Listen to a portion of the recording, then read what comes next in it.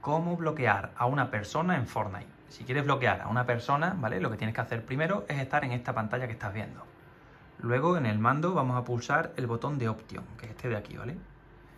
Una vez que has pulsado Option, vas a buscar, dándole para abajo, ¿vale? A esa persona a la que quieres buscar.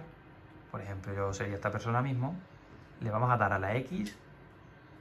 Y una vez que se te abre este menú, en la tercera opción pone más opciones le das a la X otra vez y ahora lo que queremos hacer es bloquearlo.